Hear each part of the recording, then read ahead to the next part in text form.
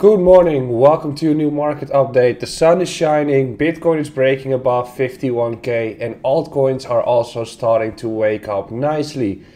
Does it mean that we are into alt season at this point, and which levels should we be watching when you're trading Bitcoin and Ethereum?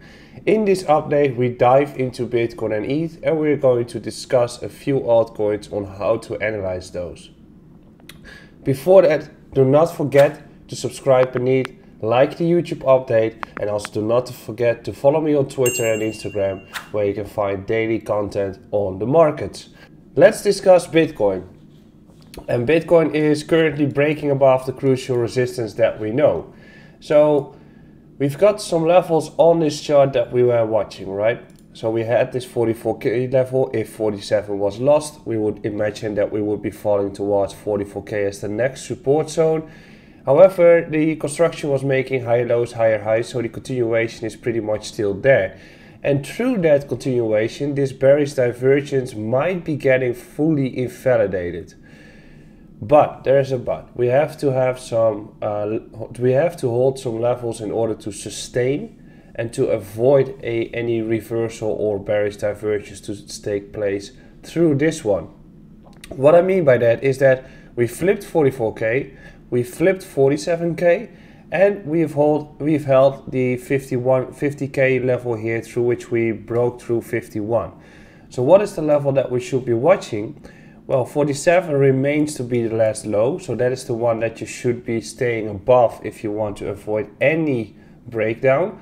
But we do see that we break above 50k so the previous resistance zone here is the level that you want to sustain. Because by staying above 50k, we are getting back into this range construction and we can start acting inside this area here for some uh, probably some weeks and maybe even some months before we're going to make a new breakout above the all-time high. As long as 50k stays, the altcoins will start breaking out heavily as well. Still no big breakout for Bitcoin still no real impulse wave on Bitcoin, resulting in altcoins breaking out left and right. So based on a daily time frame and given the recent breakout, you want to see Bitcoin sustain above that 49.6 to 50k level in order to avoid a breakdown. When we're looking at the lower time frames, we can see the exact same, right? So we do have this breakout on the upside, we do have a breaker above 50k, but you want to see it sustain for support in order to see continuation happening on the charts here. So the 50k level remains a very important one right now. And now we can look at Ethereum to see whether that one has been seeing some drop off in the Bitcoin pair in a heavy manner, resulting in the fact that we potentially might be seeing only a Bitcoin run. That is always what you derive from the ETH Bitcoin pair. And we can see that there is some weakness but we should be discussing whether that is based on the fact that we just saw an impulse wave and there was some resistance, or whether Bitcoin is breaking out and therefore the correction is happening on ETH. Such a corrective move like this is completely normal for Ethereum to take place, especially given the fact that other altcoins, and I'll just discuss one after ETH, are breaking out left and right, so the strength is still in the altcoin markets heavily. What are the levels to watch on Ethereum against Bitcoin? Um, still remaining the same. If you want to take any entry on Ethereum, I think you want to look around 071 and the resistance is the current resistance that we're acting in. And once we break through this resistance, I think we're going to have a new impulse wave um, and then we might be facing a run of Ethereum towards the recent all-time high in 2017, uh, January 2018 in the Bitcoin pair. Ethereum against USDT, not much to say. Um, we've discussed the daily time frame in which you clearly don't have any entry at all.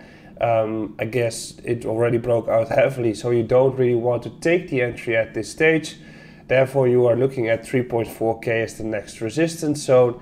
When we're looking into the lower time frames, I've discussed the crucial area that it should, should sustain, which is around 3.8k, and that is currently still staying there as support, resulting in a potential continuation or at least test of the 4.1k level. And now we get into the area of altcoins. Altcoins are looking like a breakout is heavily going to happen on all of them. And for one of them is Chainlink, which is currently waking up nicely. Support is holding. Right now we broke through resistance. So what do you want to see sustain on Chainlink? You want to see that to the previous resistance becoming support here, through which continuation might be happening. So at this stage, Chainlink against Bitcoin looks like we're going to wake up to a new cycle. And it looks like we're going to have some serious strength happening here relatively soon, through which we are first facing 7150 and most likely we are going to make a run towards 100k. So the area to watch for Chainlink is the one here. But you also know that the money cycle is Bitcoin, ETH, large caps, mid caps, small caps, Bitcoin. So Bitcoin and ETH have been running nicely already and Bitcoin continues to grind. Ethereum already facing all-time high almost right now, through which watching the Chainlink against ETH chart for instance shows you that Chainlink has been underperforming and most of the altcoins have been underperforming heavily against Ethereum. So based on Chainlink against Bitcoin, it is still on the lower regions and lower bounds, meaning that there is still a breakout breakout ready to be happening on that one. Chainlink against USDT is slowly crawling upwards, mainly also due to the fact that Bitcoin is waking up. Chainlink against Ethereum is showing a level that it's on its lows. And it's not only Chainlink against Ethereum, but also Curve against Ethereum, for instance, is currently still a heavy buy opportunity. What does it say? It does say that Ethereum and Bitcoin might be consolidating into a range for a little bit. Through that, we can see that other altcoins are ready to break out through the Ethereum pair heavily as they are on support. So Curve against Ethereum is showing support right now. That means that those other altcoins are likely going to outperform Ethereum and Bitcoin in the coming period. And that might be alt season time. So what is most likely going to happen with Bitcoin? It has to sustain above 51k, uh, 49.5 to 50k. If that happens, a new range is, is ready to be made until 60k. Altcoins are looking like they're going to break out against Bitcoin and Ethereum because Bitcoin and Ethereum are going to consolidate. They will have their run until Bitcoin starts to break above 60k in the all-time high and then you probably don't want to have any altcoins at all. So should you be buying altcoins, there are still many ready to have a big breakout. It's up to you to decide which ones you want to have. But if you're chasing ones that went vertical already, I think you should be looking at different opportunities. That's my update for today. I'll be back later today with a second update. Don't forget to subscribe beneath and have a wonderful day.